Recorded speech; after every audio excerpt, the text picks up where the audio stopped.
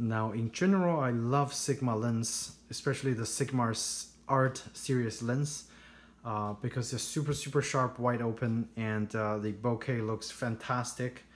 Uh, for the most part, the focusing works great on the Sony body, with a little exceptions. If you read my previous videos, I think I may have uh, have got a lemon for the 35 millimeter Sigma Art.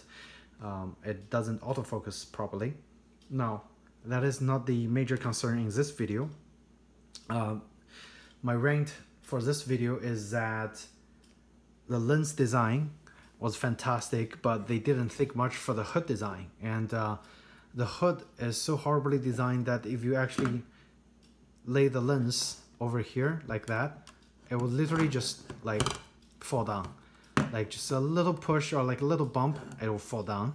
And that is horrendous and this is their smallest lens or one of the smallest lenses a 35 millimeter 1.4 and uh, if you look behind there's the humongous 85 millimeter 1.4 and uh, for some reason they achieved the same horrendous design for the lens hood for the 85 and this is a much larger lens hood. Somehow they managed to make it also super unstable. Um, I don't know what they are thinking, but uh, this is not how you're supposed to design a, a good lens hood. If you look at many, if you own some other Sony lens, uh, you'd be appreciate how well the lens hood was designed. It's either a full lens hood or the lens hood is uh, so much more stable, like the 72-800 lens hood and this is so stable. There's no way you push it around it's gonna fall down.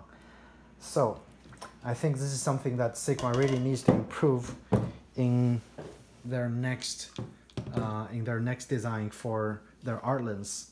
Or it would be really good if Sigma would replace those horrendously designed lens hood to make it more stable because a lot of photographers likes to have the camera this way when they actually resting it because if you put it any other way, you're either gonna scratch the camera or you're gonna scratch the lens, um, which either I don't like.